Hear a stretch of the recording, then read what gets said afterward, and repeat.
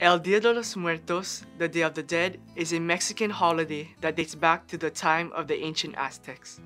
They believed that the soul had to travel through nine difficult levels to reach its final place.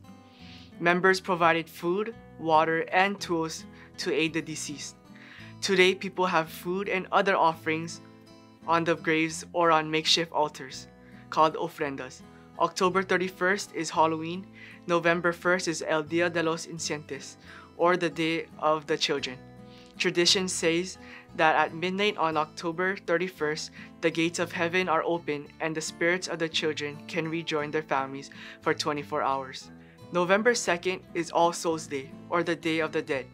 Families decorate the altar with bright cempasúchil flowers whose petals are spread on the ground from the tomb to the home for the dead to find their way. There are pictures of the departed and the favorite foods and drinks which include pan de muerto, bread of the dead, a glass of water to refresh themselves, white candles to light the way, and a special incense called copal. The scent of the flowers and the incense draw the souls to join in the celebration. Lastly, in the movie Coco, Miguel's dog turned into an alebrije or spirit animal. These spirit animals serve as guides to link the spirits and real world to help a person through life to become who you are supposed to be. Feliz Dia de los Muertos! Ay, de mi llorona, llorona de azul celeste. Ay, de mi llorona, llorona de azul celeste. Y aunque la vida me cueste llorona, no dejaré de quererte, no dejaré de quererte. Hay muchas diferentes versiones de la leyenda de la llorona. There are many different versions of the legend of the weeping woman. En una versión, una mujer muy hermosa se casó con un hombre muy guapo. Tuvieron dos hijos. In one version, a very beautiful woman got married to a very handsome man. They had two children. Después de unos años, el hombre empezó a salir con otras mujeres y también a beber.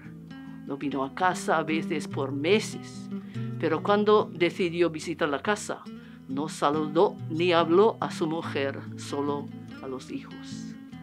After some years, the man began to go out with other women and also to drink.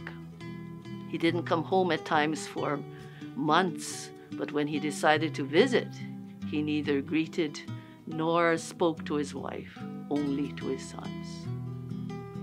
Un día la mujer se volvió loca y en ese momento agarró a sus hijos y los tiró en el río. Pero cuando oyó los gritos de sus hijos, se dio cuenta de lo que había hecho. Corría al lado de la orilla cuando tropezó con la raíz de un árbol. Se cayó y pegó la frente en una roca. Murió. One day the woman went mad and in that moment grabbed her children and threw them into the river. But when she heard the screams of her children, she realized what she had done. As she ran along the bank of the river, she tripped on a tree root, fell, and hit her head on a rock. She was killed. La gente del pueblo encontró su cuerpo y la enterró en el lugar donde cayó. Cuando caía la oscuridad, su fantasma se levantó de la tierra, empezó a vagar por el campo buscando a sus hijos. Semilla y gritaba, ¡Oh, mis hijos, mis hijos! The people of the village found her body and buried her on the spot where she fell. As darkness fell, her ghost rose from the grave and began to wander through the countryside looking for her sons. She moaned and shouted, My sons, my sons. Su castigo es vagar por todas partes para la eternidad. No puede entrar en los cielos hasta que encuentre a sus hijos. Her punishment is to wander throughout the countryside for eternity. She cannot enter heaven until she finds her sons. Ah,